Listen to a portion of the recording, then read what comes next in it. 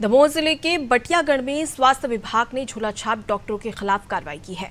Block medical officer ने drug inspector और स्वास्थ्य अमले के साथ बटियागढ़ और फुटेरा में दर्जनों झूला छाप डॉक्टरों के क्लिनिकों पर छापामार कार्रवाई की।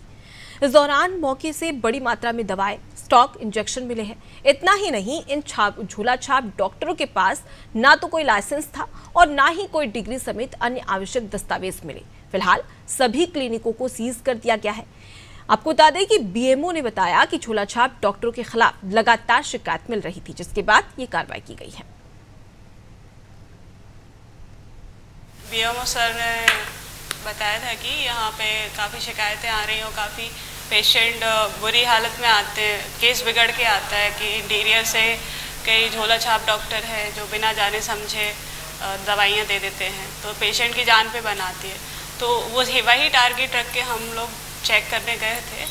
तो जिन जिन का हमको आज ये झोला छाप डॉक्टर का क्लिनिक खुला पाया गया चरित अवस्था में पाया गया तो वहाँ पे जाके हमने जाँच की।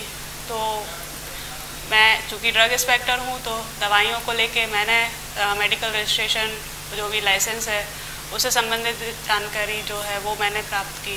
बाकी क्लिनिक का जो रजिस्ट्रेशन रिक्वायर्ड रहता है कि किसी भी क्लिनिक को चलाने के लिए उससे के संबंध में सर ने जाँच की। विगत वर्षों से फुटेरा क्षेत्र और बटियागढ़ क्षेत्र से जो थैला छाप क्लिनिक जो चल रही थी उनकी बहुत शिकायतें आ रही थी जिसका निराकरण करने के लिए छापामार कार्यवाही की गई थी। और कुछ जहाँ अवैध रूप से क्लिनिक का संचालन किया जा रहा था वहाँ सीज किया गया है। कितनी जगह पर सीज किए गए लगभग छः से सात जगह। पोटेरा में और दो से तीन बटियागढ़ में सीज किया गया। क्या कमी पाई?